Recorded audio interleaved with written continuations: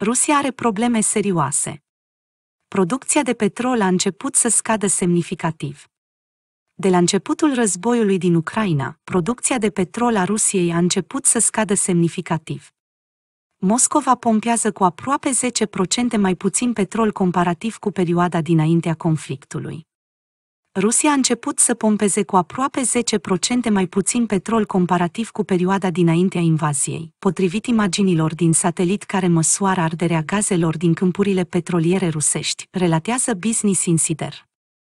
Între 1 și 19 aprilie, producția de petrol din Rusia a scăzut în medie la 10,1 milioane de barili pe zi, de la cele 11 respectiv 11,1 milioane produse în martie și februarie, potrivit datelor companiei de analiză Oilix, citate de Business Insider. Diferența dintre februarie și aprilie reprezintă o scădere de 9%. OILX folosește imagini oferite de sateliții NASA pentru a urmări cantitatea de lumină emisă de platformele petroliere în timp ce acestea ard excesul de gaz natural. Emisiile de lumină mai scăzute indică faptul că Rusia pompează o cantitate mai mică de petrol decât în lunile precedente.